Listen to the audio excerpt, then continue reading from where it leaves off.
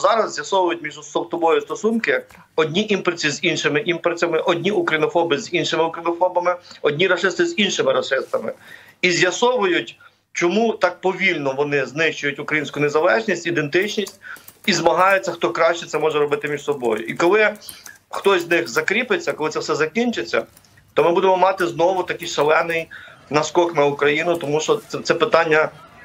Е, Це питання їхнього виживання. Тепер незалежність для України для них взагалі неприйнятна. Зараз в росіян паніка, тривога. Ми розуміємо їхні настрої на фронті. Ніхто не розуміє, що відбувається. Спочатку друга армія в світі стала другою армією в Україні. Після того вона сьогодні вона понизилася ще на лігу, бо вони вже тепер друга виявляється, вони друга армія в Росії. Бо ми бачимо, як спокійно ЧВК Вагнера рухається в бік Москви без жодного опору. Ніхто її не може зупинити. І очевидно, це колосальний удар по Путіну персонально, по Російській імперії, яку він зараз представляє, і тому нам потрібно цим користуватися. Ми дуже багато зробили насправді для того, щоб це сьогодні відбулося. Тому що в Росії шукають ЦАПа Відбуваєва.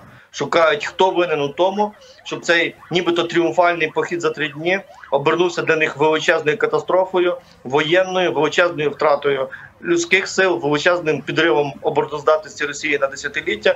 І тому зараз, якби ми маємо не спостерігати, а добивати падаючого. Поки існує така неприродня держава, крайня імперія в Європі, Російська Федерація, до того часу ця імперія плодитиме імперців.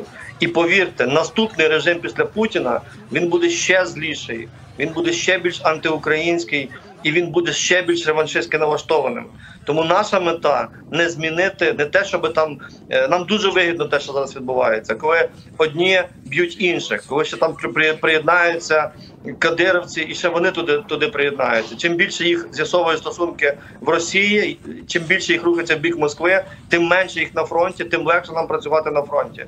Але наша кінцева мета знищення цієї потвори, як Російська Федерація, і ми зараз повинні стимулювати і підтримувати національно визвольні рухи.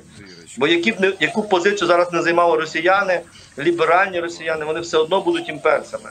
Наше завдання цю, цю, цю ситуацію вирішити таким чином, скористатися цим вікном можливостей і поставити хрест на російському імперіалізмі.